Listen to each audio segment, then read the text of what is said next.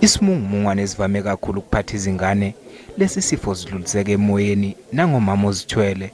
Njengoba uqalile nje ulwezi sekunezingane ezinhlanu ezihaqekile yizo sisincane isibalo sezingane ezithelelekile kepha isikhungo sezifo ezithelelanayo i-NICD sisithatha njengombhedukazwe lesi sifo. Nomnyango wezempilo usuqinisa inhlelo zawo zokugoma.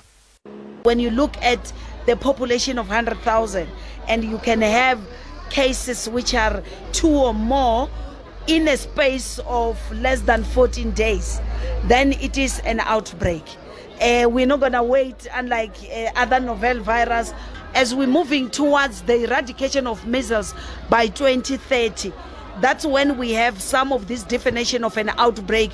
When I look at our vaccination uh, program that is shown to have worked, we can confirm that yes, all those cases, none of them we can trace uh, them to be having an evidence of having been vaccinated.